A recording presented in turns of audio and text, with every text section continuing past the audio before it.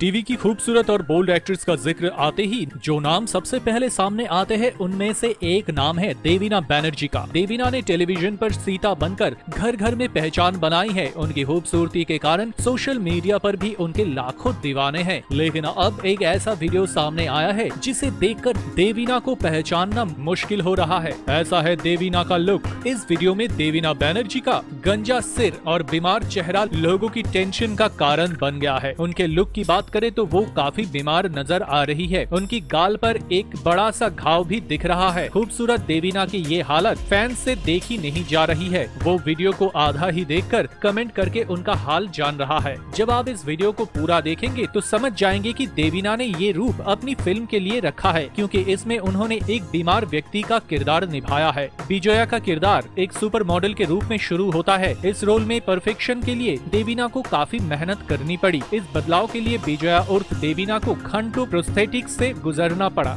ऐसे ही ताजा तरीन खबरों के साथ अपडेट रहने के लिए हमारे इस चैनल को लाइक कीजिए शेयर कीजिए और सब्सक्राइब कीजिए सब्सक्राइब करने के बाद बेल बटन प्रेस करना मत भूलिए तो मिलते हैं अगले वीडियो के साथ तब तक के लिए धन्यवाद